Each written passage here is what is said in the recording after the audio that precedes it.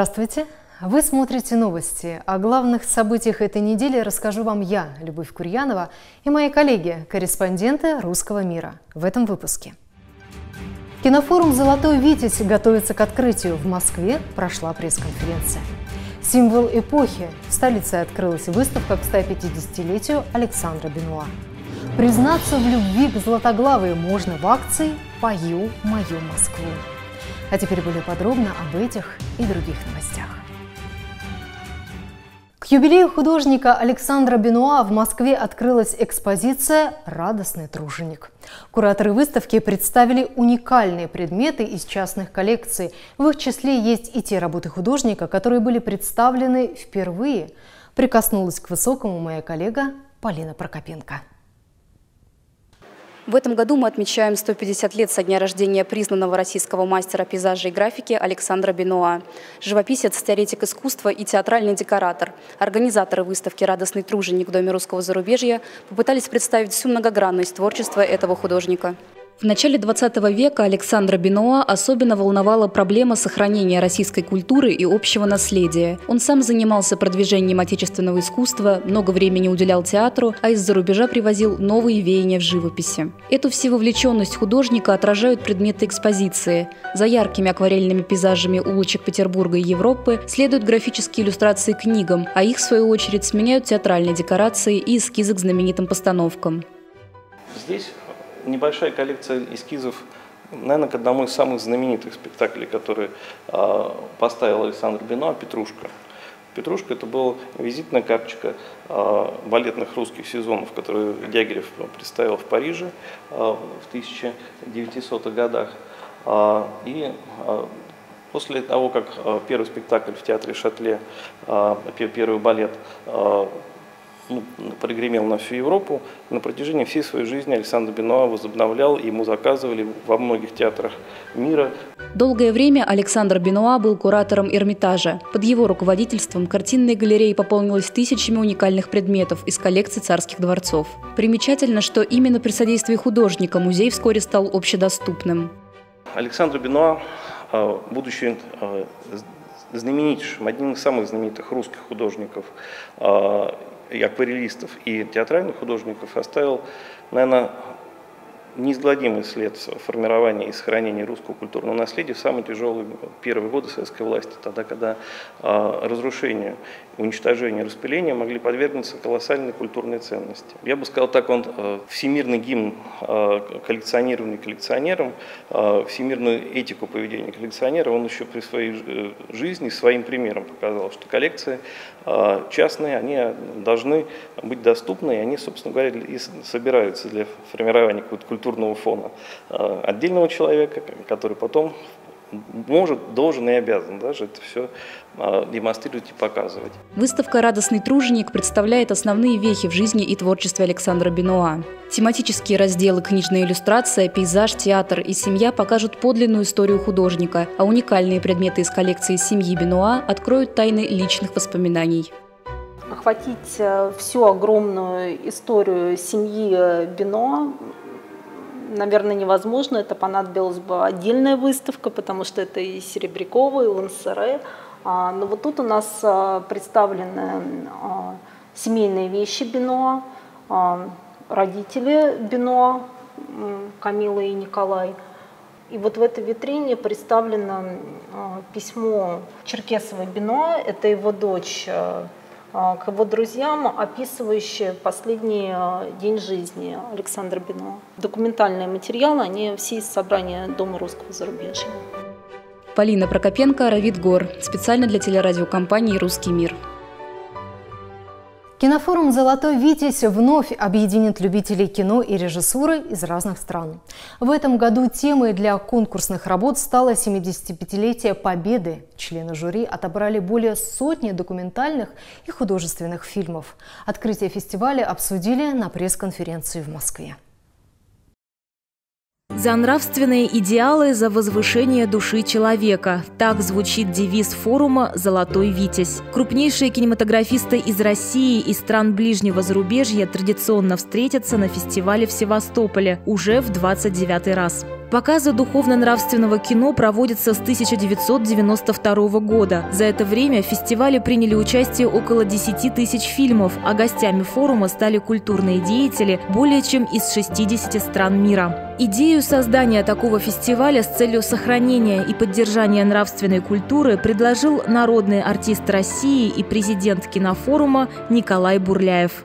Наша задача – это консолидация позитивных сил деятелей культуры славянского мира. Все самое лучшее, что есть в нашей культуре славянской, мы пытаемся аккумулировать и в области кино, и литературы, и театра, и живописи. В показах принимают участие не только профессиональные режиссеры. Среди конкурсных работ немало студенческих материалов, а также анимации. В этом году особое внимание жюри уделит тем фильмам, которые расскажут о годовщине победы в Великой Отечественной войне. Как отмечают организаторы кинофорума, на конкурс поступило свыше 500 заявок. Экспертная комиссия отобрала для участия 189 картин из 20 стран. Они примут участие в категориях игровые, документальные, анимационные, дебютные, студенческие и детские фильмы. С момента легендарного сражения при болгарском городе Старозагора прошло 143 года. Жители страны до сих пор помнят и чтут имена героев, которые мужественно отстояли одну из ключевых битв русско-турецкой войны. О подвиге солдата рассказали слушателям летней программы при русском центре в Болгарии.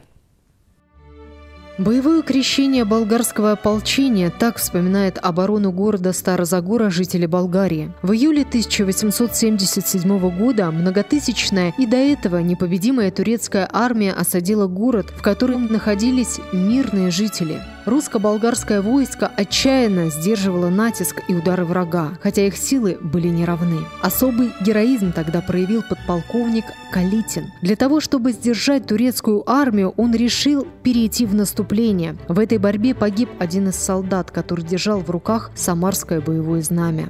Тогда Калитин спрыгнул с огня, поднял упавший флаг и окликнул свою дружину. В этот же момент ополченцы ринулись на голос командира, но грудь Калитина пробили несколько пуль. Сотрудники и гости русского центра в городе Старозагора вспомнили о подвиге русско-болгарской армии. В памятный день они возложили цветы к памятнику подполковника Калитина, а также отдали честь и уважение всем героям, которые погибли в этом сражении.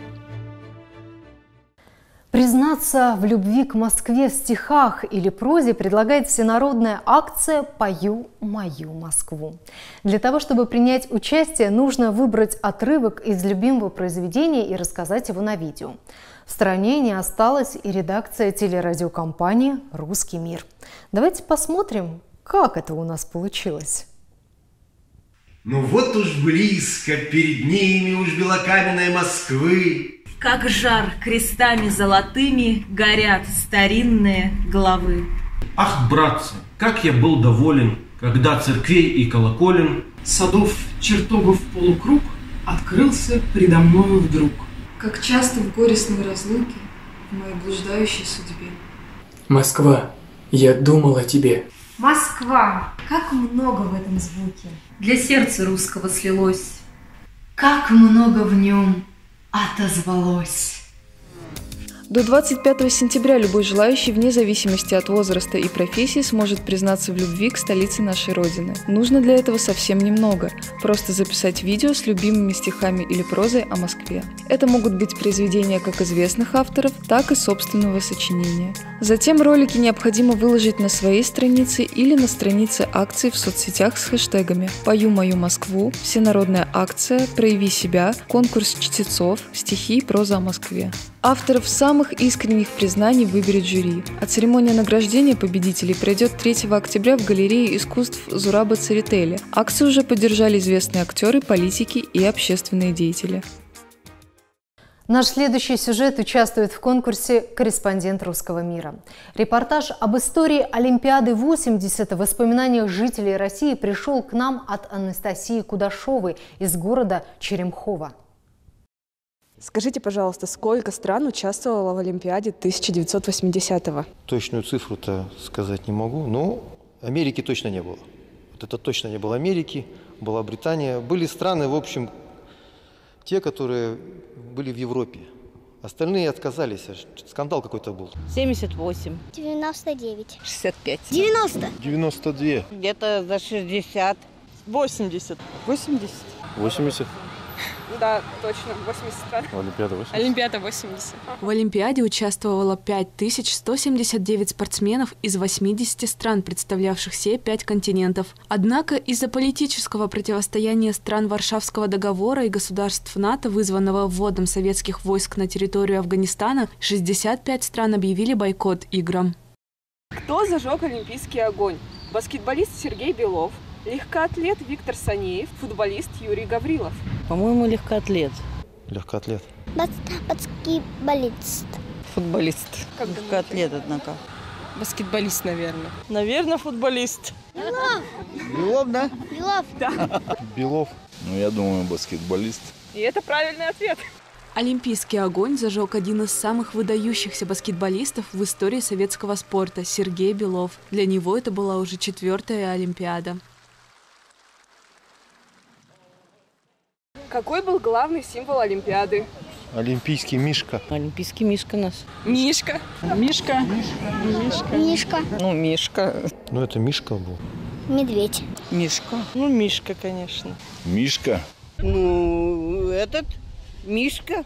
Первоначально кандидатами в олимпийские талисманы были конек-горбунок, матрешка и кукла-петрушка. Позднее газета «Советский спорт» провела опрос населения с просьбой придумать талисман предстоящих игр. Пришло около 45 тысяч писем, и большинство читателей предлагали нарисовать медведя. Так появился знаменитый олимпийский мишка.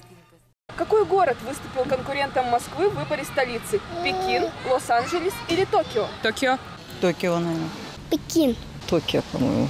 Токио. Токио. По-моему, Лос-Анджелес. Токио, наверное. Токио, по-моему. Токио, по-моему. Наверное, Лос-Анджелес. Соперником Москвы был американский Лос-Анджелес. На каком стадионе состоялось открытие Олимпиады? Лужники. В Москве, не помню на каком. Или в Лужниках, или где-то вот там. Большой олимпийский стадион, что ли? В Лужниках. Лужники? В Москве, на Лужниках. Лужники. Что-то не могу припомнить. Открытие Олимпиады прошло на стадионе имени Ленина в Лужниках. В нем приняли участие более 16 тысяч человек, среди которых были профессиональные танцоры, атлеты, студенты и самодеятельные артисты. Сколько золотых медалей завоевала наша страна на Олимпиаде? Ну, много. Много, точно не знаю, но хорошо. Наши потрудились все спортсмены. Ой, что-то мы много тогда взяли. Наверное, 50, но не меньше. 90? 100. Ну, 80. Не знаю я, не помню. В районе 50. 70. Ну, наверное, 80. Больше 50. Больше. 80. 80. Правда? Всего СССР завоевал 195 медалей, 80 золотых, 69 серебряных и 46 бронзовых.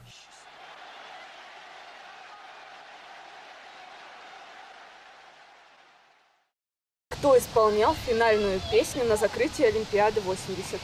Лещенко. Левченко. Лещенко. Лещенко, я у Левченко. Пугачева? Нет. Да нет, мама. А М- Муслим Магомаев? Ну, не Магомаев, точно не. До свидания. Мы, да. Мишка, что там такое? А вот кто исполнял, даже даже не могу сейчас вспомнить. Лещенко. Лещенко. Лещенко. Лещенко пел «До свидания, Мишка». да? Да.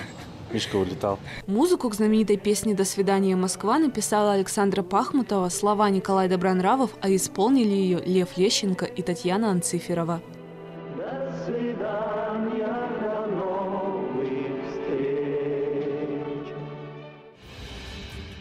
О самых интересных событиях из жизни русского мира вы узнаете в нашем следующем информационном выпуске. А я напоминаю, что каждый из вас может стать корреспондентом русского мира. Принимайте участие в нашем четвертом международном телевизионном конкурсе, заявки на участие в которой продлены до 1 декабря. Все подробности на нашем сайте www.ruskimir.ru. Делайте новости вместе с телеканалом «Русский мир». Всего доброго!